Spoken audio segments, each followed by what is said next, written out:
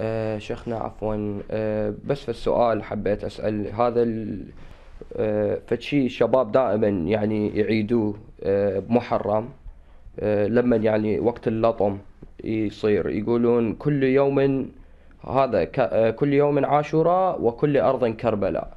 هذا الشيء هل يجوز؟ لو لا. أكو أصلا هيك حديث؟ لو لا. وشكرا. هذا من جملة الأغلاط الشائعة. من جملة الأغلاط الشائعة تكرار ذكر هذه المقولة الأموية وليست المقولة النبوية أو المعصومية. الناس تتصور هذا حديث شريف. أنه كل يوم عاشوراء وكل أرض كربلاء.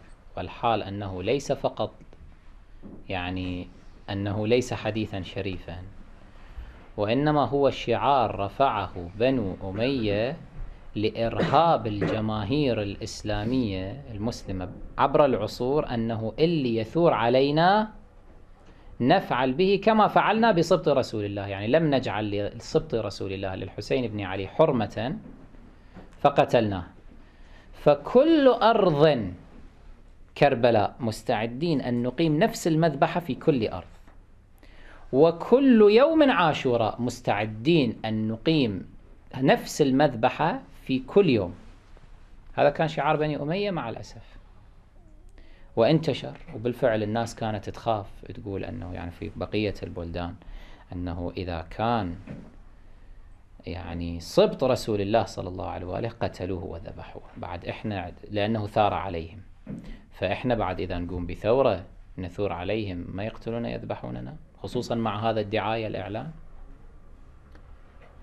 فمع الأسف الشريف مع الأسف الشديد ما أدري أنه هذا كيف تحول إلى حديث شريف فيما بعد مع الأسف. يعني ما أدري كيف أنه الآن حتى بعض الخطباء ينقلونه على المنابر وهذه مصيبة المصائب.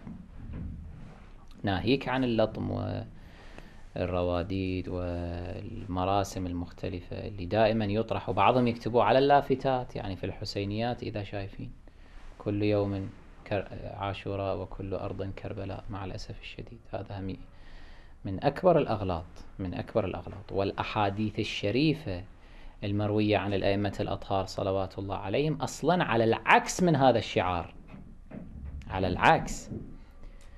الشعار ماذا يقول؟ يقول كل يوم عاشوراء صحيح؟ الأحاديث الشريفة تقول لا يوم كيوم عاشوراء لا يوم كيومك يا أبا عبد الله. يعني ماكو يوم آخر مثل عاشوراء. شلون أنت تقول كل يوم عاشوراء؟ الأحاديث الشريفة تقول لا أرض ككربلاء ماكو أرض مثل كربلاء لأنه كربلاء أقدس بقعة في الكون في الأرض. كربلاء ثم مكة المكرمة المدينة المنورة النجف الأشراف الكوفة المقدسة هذه البقاع المقدسة. لاحظتم أرض كربلاء هي في القمة. شلون أنت تقول كل أرض تصير كربلاء؟ يعني هنا لندن قداستها مثل قداسة كربلاء إن كان للندن قداسة طبعا.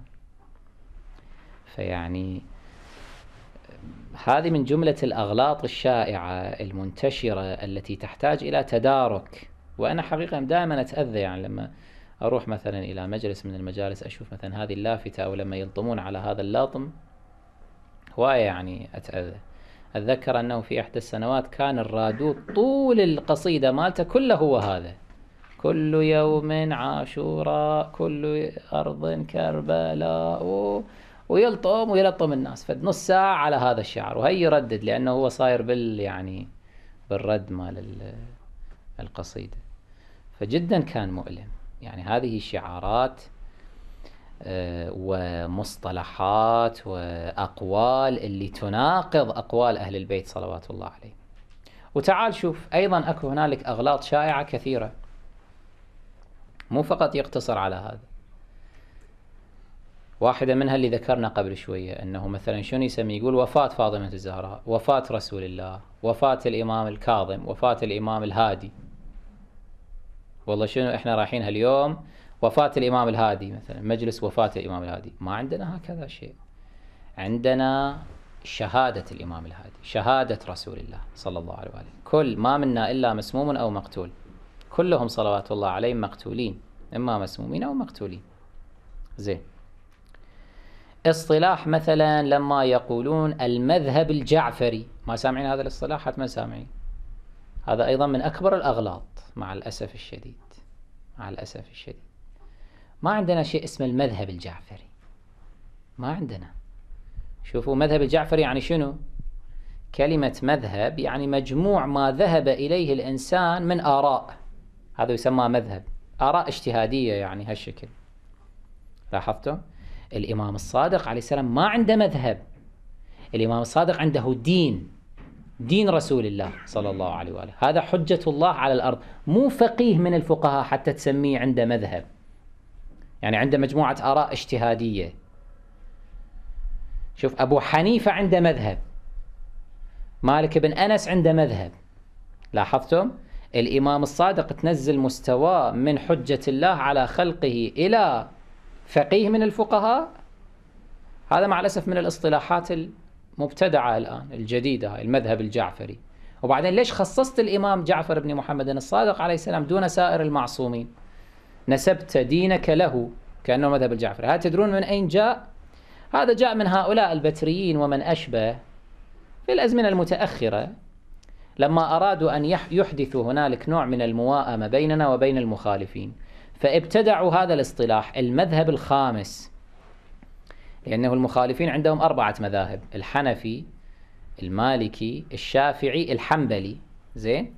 قالوا إحنا المذهب الخامس تعالوا اعترفوا بينا كمذهب خامس شو نسمي أنفسنا؟ المذهب الجعفري. هكذا. مع الأسف الشديد هذه فضيحة. هذا مع الأسف إنقاص من مقام الإمام الصادق صلوات الله عليه ومن مقام أئمة أهل البيت عليهم السلام. إحنا نساوي بين الإمام الصادق وفقهائهم هؤلاء. مذهب الجعفري ما يصير هكذا. يرحمكم الله. فالمشكلة هذه يعني هذا اصطلاح مثلا خاطئ. هذا الاصطلاح ما عندنا في روايات أهل البيت عليهم السلام. عندنا في روايات أهل البيت دين ولاية طريقة منهاج أهل البيت عليهم السلام. هكذا تسمي. أما تقول المذهب الجعفري مذهب أهل البيت هذا خطأ. قل دين أهل البيت ولاية أهل البيت عقيدة أهل البيت. لما تقول مذهب الإمام الصادق يعني كأنك قلت مذهب رسول الله. هو رسول الله كان عنده مذهب؟ ما عنده مذهب.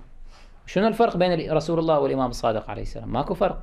كلاهما حجة الله على خلقه. هذا نبي وهذا وصي. ماكو فرق. لاحظتم؟ هذا من الاصطلاحات الشائعة. من الاصطلاحات الشائعة لما واحد يصف أهل الخلاف بقوله أهل السنة. يقول رحت لذول السنة أهل السنة. ماكو هذا الشيء أيضا عندنا. أهل السنة نحن. أهل الجماعة نحن. هم أهل الخلاف. لا يطبقون سنة رسول الله صلى الله عليه وآله. الأحاديث التي عندهم تكشف عن أننا نحن أهل سنة رسول الله. الحديث الشريف الذي عندهم يقول فيه رسول الله صلى الله عليه وآله من مات على حب آل محمد مات على السنة والجماعة. ما عندهم حديث آخر فيه هذا الاصطلاح السنة والجماعة. فإذا لازم واحد يفهم أنه السنة والجماعة يعني شنو؟ يعني من يموت على حب آل محمد يعني يتبعهم يواليهم ويبرأ من أعدائهم. نحن أهل السنة والجماعة. إذا ماذا نسميهم؟ نسميهم أهل الخلاف المخالفين أهل العامة البكريين. ما شئت فعبر.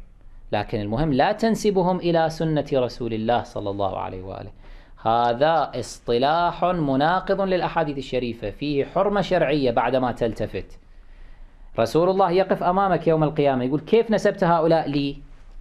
أنا أمرتهم بأن يصلوا هكذا؟ هاي كان سنة رسول الله صلى الله عليه وآله سنة رسول الله إسدال اليدين كما ثبت أيضا في أحاديثهم. هاي سنة عمر بن الخطاب. إذا هؤلاء كانوا تستطيع أن تقول أهل سنة عمر أهل سنة معاوية. وتعلمون أنتم أصلا هذا من أين جاء كلمة أهل السنة والجماعة بالنسبة إليهم؟ تتعجبون. هم في البداية لما الإمام الحسن صلوات الله عليه هادن معاوية فمعاوية استلم الخلافة والحكم. سموا ذلك العام عام الجماعة. ليش؟ باعتبار أنه جميع الأمة اجتمعت على مبايعة معاوية بن أبي سفيان. فكان يسمون أنفسهم ماذا؟ أهل الجماعة. هاي في البداية. زين. معاوية ماذا سن لهم؟ لعن علي بن أبي طالب وشتمه على المنابر.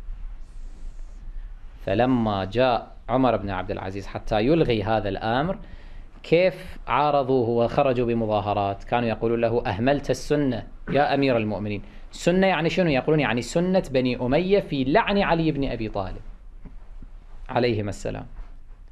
فكانوا يسمون أنفسهم نحن أهل السنة والجماعة. يعني شنو؟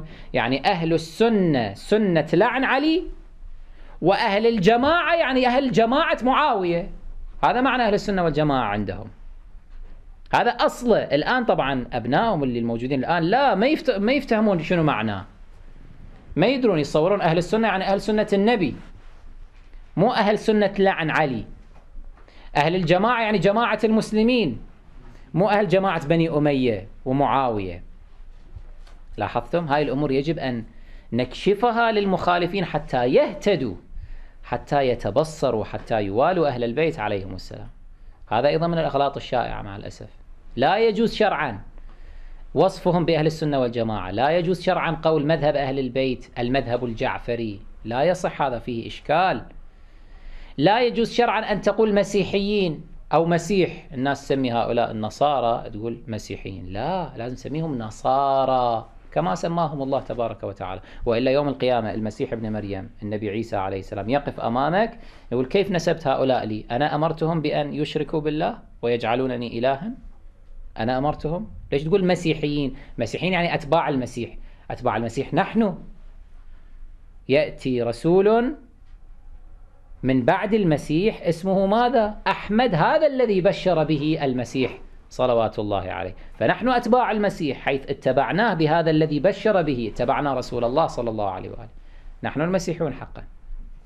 أما تنسب هؤلاء القوم النصارى المشركين بالله تعالى تنسبهم إلى المسيح ابن مريم فهذا فيه إشكال شرعا. المطلوب من الإنسان أن يتأدب بآداب الله وأهل بيت رسول الله صلى الله عليه وآله لا يعدو عن كلماتهم عن اصطلاحاتهم عن أحاديثهم يعرف كيف ينطق كيف يتكلم. هذا هو المطلوب.